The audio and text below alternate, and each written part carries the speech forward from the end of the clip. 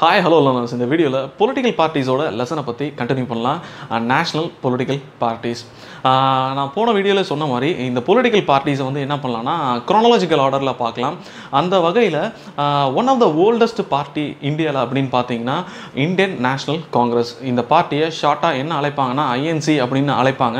இந்த பார்ட்டிக்கு இன்னொரு ஒரு ஃபெமிலியரான நேம் பார்த்தீங்கன்னா காங்கிரஸ் பார்ட்டி இந்த பார்ட்டியோட சிம்பிள் வந்து ஹேண்டு இந்த பொலிட்டிக்கல் பார்ட்டியை ஃபவுண்ட் பண்ணது யார் அப்படின்னு அப்படின்னு கொஸ்டின் பண்ணால் ஒரு சில பேர் என்ன பண்ணுவாங்கன்னா மகாத்மா காந்தி இல்லை ஜவஹர்லால் நேரு அப்படின்னு என்ன பண்ணுவாங்கன்னா சொல்லுவாங்க. அப்படியெல்லாம் என்ன பண்ணிடாதீங்கன்னா எக்ஸாமில் எழுதிடாதீங்க உண்மையிலே இந்த பொலிட்டிக்கல் பார்ட்டியை ஃபவுண்ட் பண்ணது பார்த்தீங்கன்னா ஆலன் ஆக்டோவியன் ஹியூம். அவரை ஷார்ட்டாக என்ன அழைப்பாங்கன்னா ஏஓ ஹியூம் அப்படின்னு அழைப்பாங்க. இது வந்து பார்த்தீங்கன்னா எயிட்டீன் எயிட்டி ஃபைவ்லேயே ஸ்டார்ட் பண்ணிட்டாங்க. அந்த அளவுக்கு ஒரு ஓல்டஸ்டான ஒரு பொலிட்டிக்கல் பார்ட்டி இந்தியாவில் ஜவஹர்லால் நேரு இந்தியாவோட பிரைம் மினிஸ்டர் ஆனதுக்கப்புறம் இந்த பொலிட்டிக்கல் பார்ட்டியை மட்டும் இல்லாமல் இந்தியாவை என்னவா மாற்றணும் அப்படின்னு நினைக்கிறாருன்னா ஒரு மாடர்ன் டெமோக்ராட்டிக் சோஷியல் ரிபப்ளிக்காக மாற்றணும் அப்படின்னு நினைக்கிறாரு. அது மட்டும் இல்லாமல் இந்த பொலிட்டிக்கல் பார்ட்டியோட ஐடியாலஜி என்னன்னு பார்த்தீங்கன்னா இது வந்து ஒரு சென்ட்ரஸ்ட் பார்ட்டி சென்ட்ரஸ்ட் பார்ட்டினா இவங்க என்ன கிடையாதுன்னா நெய்தர் லெஃப்டிஸ்ட் நார் ரைட்டிஸ்ட் ரைட்டிஸ்ட்னா என்னன்னா கேபிட்டலிசம் இருக்குது பார்த்தீங்களா அதுக்கு முக்கியத்துவம் கொடுக்குறவங்க வந்து பார்த்தீங்கன்னா ரைட்டிஸ்ட் அதாவது முதலாளித்துவத்துக்கு முக்கியத்துவம் கொடுக்குறவங்கள ரைட்டிஸ்ட்னு சொல்லுவாங்க. லெஃப்டிஸ்ட் வந்து யாருன்னா கம்யூனிஸ்ட் குரூப்பை சொல்லுவாங்க. கம்யூனிஸ்ட் குரூப்னா தொழிலாளர்களுக்கு இல்லை எல்லாருக்கும் எல்லாம் கிடைக்கணும் அப்படின்னு சொல்கிறாங்க பார்த்தீங்களா அவங்க வந்து பார்த்தீங்கன்னா கம்யூனிஸ்ட். இவங்க இந்த காங்கிரஸ் பார்ட்டி வந்து லெஃப்டிஸ்ட்டும் கிடையாது ரைட்டிஸ்ட்டும் கிடையாது. இவங்க வேறு எதுக்கெலாம் இம்பார்ட்டன்ஸ் கொடுக்குறாங்கன்னு பார்த்தீங்கன்னா செக்யூலரிசத்துக்கு இம்பார்ட்டன்ஸ் கொடுக்குறாங்க. செக்யூலரிசம்னா மதச்சார்பின்மை. எந்த மதத்துக்கும் என்ன பண்ணுறதுனா முன்னுரிமை கொடுக்கறது கிடையாது. அது மட்டும் இல்லாமல் இவங்க வீக்கர் செக்ஷன்ஸ்க்கு மைனாரிட்டிஸோட வெல்ஃபேருக்காகவும் இவங்க முன்னுரிமை கொடுக்குறாங்க.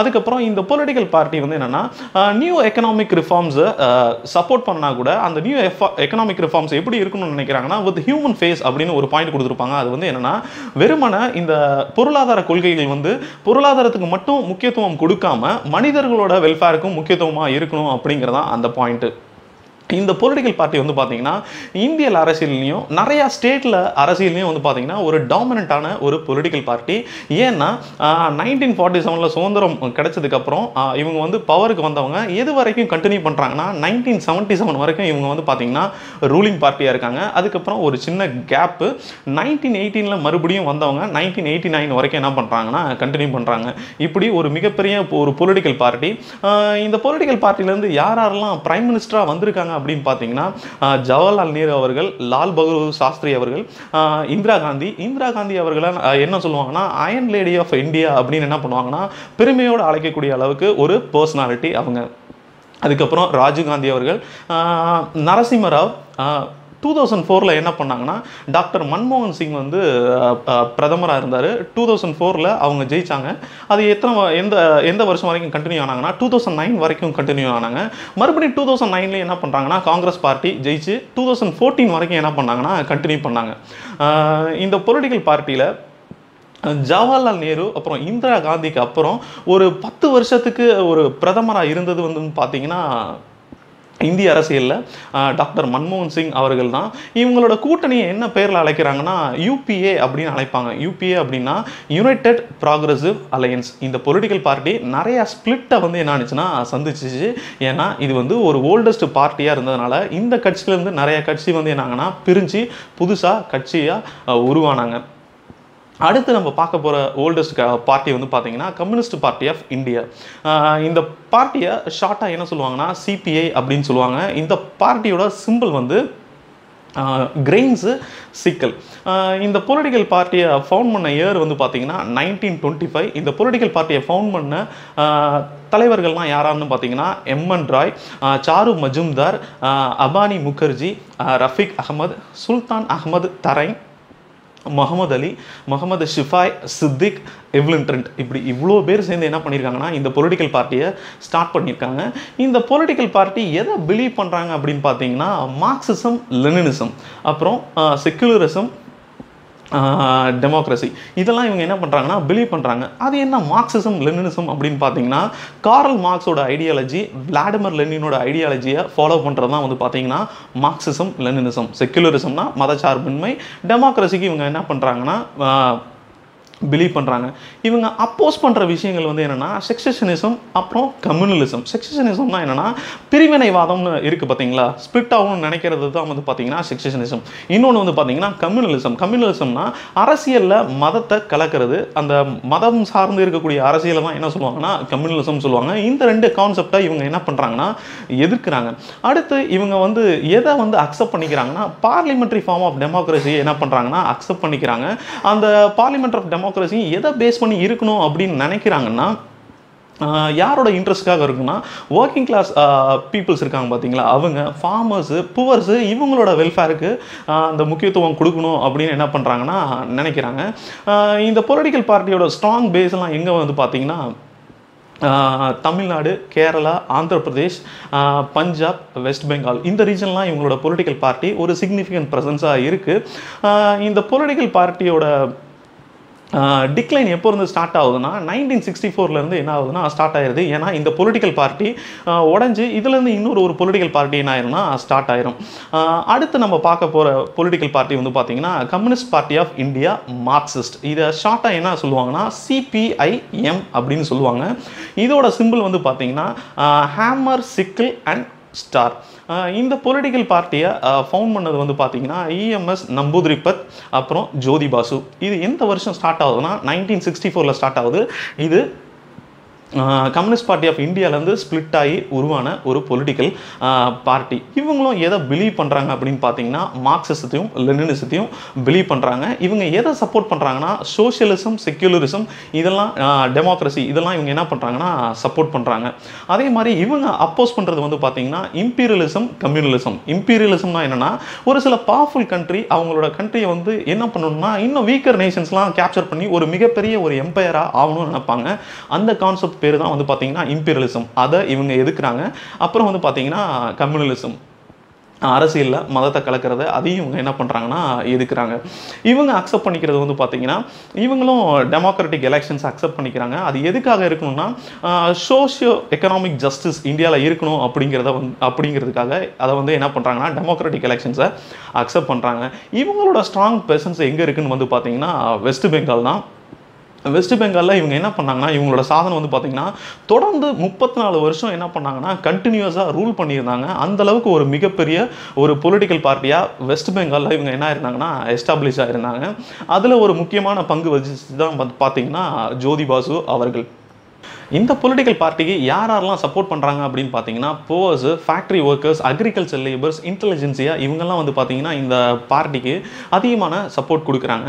அது மட்டும் இல்லாமல் இந்த பொலிட்டிக்கல் பார்ட்டி எதை வந்து கிரிட்டிசைஸ் பண்ணுறாங்க அப்படின்னு பார்த்தீங்கன்னா நியூ எக்கனாமிக் பாலிசிஸ்னால வெளிநாட்டிலேருந்து பொருட்களும் அதுக்கப்புறம் வந்து பார்த்தீங்கன்னா கேபிட்டல்ஸும் அதிகமாக இந்தியாக்குள்ளார வரதை இவங்க வந்து என்ன பண்ணுறாங்கன்னா கிரிட்டிசைஸ் பண்ணுறாங்க அடுத்து நம்ம பார்க்க போகிற பொலிட்டிக்கல் பார்ட்டி பார்த்தீங்கன்னா பாரதி பாரதிய ஜனதா பார்ட்டி. இந்த பார்ட்டியை ஷார்ட்டாக என்ன சொல்லுவாங்கன்னா பிஜேபி அப்படின்னு சொல்லுவாங்க. இந்த பொலிட்டிக்கல் பார்ட்டியோட சிம்பிள் வந்து பார்த்தீங்கன்னா லோட்டஸ் இந்த பொலிட்டிக்கல் பார்ட்டியை எந்த வருஷம் ஃபவுண்ட் பண்ணுறாங்கன்னா நைன்டீன் எயிட்டியில் ஃபவுண்ட் பண்ணுறாங்க இது வந்து ஏற்கனவே இருந்த பாரதிய ஜன சங் அப்படிங்கிற ஒரு சங்கத்தை புதுப்பிச்சு அதிலிருந்து என்ன பண்ணுறாங்கன்னா இந்த பொலிட்டிக்கல் பார்ட்டியை நைன்டீன் எயிட்டியில் ஸ்டாப் பண்ணியிருக்காங்க. அந்த பாரதிய ஜன சங்க எப்போ ஆரம்பிச்சிட்டாங்கன்னா நைன்டீன் ஃபிஃப்டி ஒன்லேயே ஸ்டார்ட் பண்ணிட்டாங்க. அதை ஆரம்பித்தது வந்து பார்த்தீங்கன்னா ஷியாமா பிரசாத். அவர் தான் என்ன பண்ணியிருப்பார்னா ஸ்டார்ட் பண்ணியிருப்பார் இந்த பொலிட்டிக்கல் பார்ட்டியோட ஐடியாலஜி வந்து பார்த்தீங்கன்னா இந்தியா வந்து ஏன்ஷியன் கல்ச்சர் வேல்யூஸ்லேருந்து ஒரு பொலிட்டிக்கல் பார்ட்டி அதோட வேல்யூஸ் இருக்கணும் அப்படின்னு என்ன பண்ணுறாங்கன்னா நினைக்கிறாங்க. அது மட்டும் இல்லாமல் தீன் தயாள் உபதயாவோட கொள்கைகளான இன்டெகிரல் ஹியூமனிசமும் அன்டியோதயாவும் இவங்க வந்து என்ன பண்ணுறாங்கன்னா ஃபாலோ பண்ணுறாங்க இன்டெகிரல் ஹியூமனிசம்னா என்னென்னா ஒருங்கிணைந்த மனித மனிதநேயம் அப்படின்னு என்ன பண்ணுவாங்கன்னா சொல்லுவாங்க. அது வந்து எப்படின்னா இப்போ சோஷியல் கல்ச்சுரல் பொலிட்டிக்கலுக்கு கோர் பொசிஷனே வந்து ஹியூமன் பீயிங்ஸ் தான் அப்படிங்கிறது தான் அந்த இன்டெகிரல் ஹியூமனிசம் அடுத்து வந்து பார்த்தீங்கன்னா அண்டயோதயா அண்டயோதனா என்னன்னா uplift the upliftment of the weaker sections அப்படின்னு சொல்லுவாங்க. வீக்கர் செக்ஷன்ஸை அப்லிஃப்ட் பண்ணணும் அப்படிங்கிறத இவங்க ஃபாலோ பண்ணுறாங்க அது மட்டும் இல்லாமல் இவங்களோட ஐடியாலஜி வேற என்ன அப்படின்னு பார்த்தீங்கன்னா கல்ச்சரல் நேஷனலிசம் ஆர் இந்துத்துவா. இந்துத்துவாவை இவங்க வந்து ஒரு முதன்மையாக என்ன பண்ணுறாங்கன்னா பார்க்குறாங்க அது மட்டும் இல்லாமல் ஜம்மு அண்ட் காஷ்மீரோட ஃபுல் டெரிட்டோரியல் இன்டெகிரேஷனும் இந்தியாவோட இருக்கணும் அப்படின்னு நினைக்கிறாங்க. இது ஏன் அப்படின்னு நினைக்கிறாங்கன்னா இப்போ நீங்கள் மேப்பில் பார்க்கும்போது ஜம்மு அண்ட் காஷ்மீர் வந்து கம்ப்ளீட்டாக இருக்கிற மாதிரி இருக்கும்.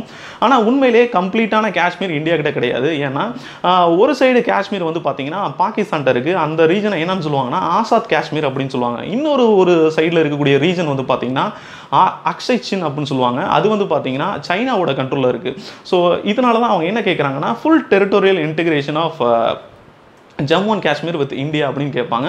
அடுத்த பாயிண்ட் வந்து பார்த்தீங்கன்னா uniform civil code for all the people within the country அப்படின்னு ஒரு பாயிண்ட் கொடுத்துருப்பாங்க. என்னன்னா இந்தியா நாடு ஃபுல்லாக இருக்கிறவங்களுக்கும் ஒரே சிவில் கோடு தான் இருக்கணும் அப்படின்னு என்ன பண்ணுவாங்கன்னா டிமாண்ட் பண்ணுவாங்க. இதுக்கு காரணம் வந்து பார்த்தீங்கன்னா ஒரு சில ரீஜன்லாம் ஸ்பெஷல் ஃபீச்சர்ஸ்லாம் இருக்கும். உதாரணத்துக்கு ஜம்மு அண்ட் காஷ்மீர்லாம் வந்து பார்த்தீங்கன்னா போன வருஷம் போன வருஷம் வரைக்கும் வந்து பார்த்தீங்கன்னா ஜம்மு அண்ட் காஷ்மீருக்கு ஸ்பெஷல் ஸ்டேட்டஸ்லாம் இருந்துச்சு. அவங்களுக்கு தனி கான்ஸ்டியூஷன் இருக்கும். நம்மளோட ரூல்ஸ் அண்ட் ரெகுலேஷன்ஸ் வந்து பார்த்தீங்கன்னா அவங்களுக்கு ஒரு சில விஷயங்கள்லாம் பொருந்தாது. ஸோ அந்த மாதிரிலாம் இல்லாமல் இந்தியா முழுவதும் எல்லாருக்கும் ஒரே சிவில் கோடு இருக்கணும் அப்படின்னு என்ன பண்ணாங்கன்னா கேட்குறாங்க அடுத்து இவங்க டிமாண்ட் பண்ணுற ஒரு விஷயம் வந்து பார்த்தீங்கன்னா பேன் ஆன் ரிலீஜியஸ் கன்வர்ஷன் மதம் மாற்றதை என்ன பண்ணணும் தடை செய்யணும் அப்படின்னு என்ன பண்ணுறாங்கன்னா நினைக்கிறாங்க. இந்த பொலிட்டிக்கல் பார்ட்டி வந்து பார்த்திங்கன்னா நைன்டீன் நைன்டிஸ்க்கு அப்புறம் ஒரு மிகப்பெரிய ஒரு வளர்ச்சி கிடைக்குது. குறிப்பாக எங்கே இவங்களோட டெவலப்மெண்ட் இருக்குன்னு பார்த்தீங்கன்னா டவுன் ஏரியாலையும் ஒரு சில கிராமப்புறங்களையும் இருக்குது நைன்டீன் நைன்டி எயிட்டில் அடல் பிஹாரி வாஜ்பாய் அவர்களோட தலைமையில் இந்த பொலிட்டிக்கல் பார்ட்டி என்ன பண்ணுறாங்கன்னா ரூலிங் பார்ட்டியாக வராங்க. அவங்க எவ்வளோ வருஷம் வரைக்கும் அவங்க கண்டினியூ பண்ணாங்கன்னா டூ தௌசண்ட் ஃபோர் வரைக்கும் என்ன பண்ணாங்கன்னா அவங்க ரூலில் இருந்தாங்க. அவங்களோட கூட்டணியோட பேர் வந்து என்னென்னா என்டிஏ அப்படின்னு சொல்லுவாங்க. என்டிஏனா என்னென்னா நேஷ்னல் டெமோக்ராட்டிக் அலையன்ஸ் அதுக்கப்புறம் என்ன பண்ணாங்கன்னா அவங்க காங்கிரஸ்ட்டை தோத்துறாங்க. அதுக்கப்புறம் மறுபடியும் அவங்க எப்போ தான் ஆட்சிக்கு வராங்கன்னு பார்த்தீங்கன்னா டூ தௌசண்ட் ஃபோர்டீனில் தான் ஆட்சிக்கு வராங்க. நரேந்திர மோடி அவர்கள் வந்து இந்தியாவோட பிரதமராக வராரு. மறுபடியும் அவங்க எப்போ ஜெயிச்சிடறாங்கன்னா டூ தௌசண்ட் நைன்டீனில் ஜெயிச்சிடறாங்க. இப்போ இவங்களோட ரூல் எது வரைக்கும் கண்டினியூ ஆகும்னா டூ தௌசண்ட் டுவெண்ட்டி ஃபோர் வரைக்கும் இவங்க அவங்களோட ரூல் வந்து என்ன ஆகும்னா கண்டினியூ ஆகும். அடுத்து நம்ம பார்க்க போகிற பொலிட்டிக்கல் பார்ட்டி வந்து பார்த்தீங்கன்னா பகுஜன் சமாஜ் பார்ட்டி இதை ஷார்ட்டாக என்ன அழைப்பாங்கன்னா பிஎஸ்பி அப்படின்னு அழைப்பாங்க. இந்த பொலிட்டிக்கல் பார்ட்டியோட சிம்பிள் வந்து எலிஃபண்ட் இந்த பொலிட்டிக்கல் பார்ட்டி எந்த வருஷம் ஸ்டார்ட் பண்ணாங்கன்னா நைன்டீன் எயிட்டி ஃபோரில் ஸ்டார்ட் பண்ணாங்க. இந்த பொலிட்டிக்கல் பார்ட்டியோட ஃபவுண்டர் வந்து பார்த்தீங்கன்னா கஞ்சி ராம். இந்த பொலிட்டிக்கல் பார்ட்டி யாரை வந்து ரெப்ரசன்ட் பண்ணணும் அப்படின்னு நினச்சி ஸ்டார்ட் பண்ணாங்கன்னா Dalits Adivasis OBCs religious minorities இவங்கெல்லாம் பாலிட்டிக்ஸில் ரெப்ரசன்ட் பண்ணணும் அப்படிங்கிற நோக்கத்துக்காக இந்த பொலிட்டிக்கல் பார்ட்டி ஸ்டார்ட் பண்ணாங்க. இந்த பொலிட்டிக்கல் பார்ட்டி யாரோட ஐடியாலஜிலேருந்து இன்ஸ்பயர் ஆகி ஸ்டார்ட் பண்ண பொலிட்டிக்கல் பார்ட்டி அப்படின்னு பார்த்தீங்கன்னா சஹு மகாராஜ் மகாத்மா ஹூலே பெரியார் ராமசாமி நாயக்கர் அப்புறம் டாக்டர் பிஆர் அம்பேத்கர். இவங்களோட ஐடியாலஜியை ஃபாலோ பண்ணி இந்த பொலிட்டிக்கல் பார்ட்டி என்ன பண்ணியிருக்காங்கன்னா ஸ்டார்ட் பண்ணியிருக்காங்க. அது மட்டும் இல்லாமல் இவங்க யாரோட வெல்ஃபேருக்காக போராடுறாங்க அப்படின்னா அப்ரஸ்டு பீப்புள்ஸ் தலித்ஸ் இவங்களோட உரிமைகளுக்காக இவங்க வந்து என்ன பண்ணுறாங்கன்னா பாடுபடுறாங்க. இவங்களோட ஸ்ட்ராங் ப்ரெசன்ஸ் எங்கே இருக்குதுன்னு பார்த்தீங்கன்னா வெஸ்ட் பெங்கால் சாரி வெஸ்ட் பெங்கால்னு சொல்லிட்டேன். உத்தரப்பிரதேசில் இந்த பொலிட்டிக்கல் பார்ட்டியோட ப்ரெசன்ஸ் வந்து பார்த்திங்கன்னா ரொம்ப ஸ்ட்ராங்காக இருக்குது இந்த பொலிட்டிக்கல் பார்ட்டி வெஸ்ட் உத்தரப்பிரதேசில் நிறைய தடவை என்ன பண்ணியிருக்காங்கன்னா ஆட்சி அமைச்சிருக்காங்க. இப்போ இந்த பொலிட்டிக்கல் பார்ட்டியோட லீடர் வந்து யாருன்னு பார்த்தீங்கன்னா மாயாவதி அவர்கள். அடுத்து நம்ம பார்க்க போகிற பொலிட்டிக்கல் பார்ட்டி வந்து பார்த்தீங்கன்னா ஆல் இந்தியா திரிணாமுல் காங்கிரஸ் இதை ஷார்ட்டாக என்ன சொல்லுவாங்கன்னா ஏஐடிசி அப்படின்னு சொல்லுவாங்க. ஃபெமிலியராக எந்த பேரில் அழைக்கிறாங்கன்னா திரிணாமுல் காங்கிரஸ் அப்படிங்கிற பேரில் அழைக்கிறாங்க. இந்த பொலிட்டிக்கல் பார்ட்டியோட சிம்பிள் வந்து பார்த்தீங்கன்னா ஃப்ளவர்ஸ் அண்ட் கிராஸ் இந்த பொலிட்டிக்கல் பார்ட்டி எந்த வருஷம் ஃபோன் பண்ணாங்கன்னா நைன்டீன் நைன்டி எயிட்டில் இதோட ஃபவுண்டர் வந்து பார்த்தீங்கன்னா மமதா பானர்ஜி. இதுவும் வந்து பார்த்தீங்கன்னா காங்கிரஸ்லேருந்து ஸ்பிளிட் ஆகி வந்த கட்சி.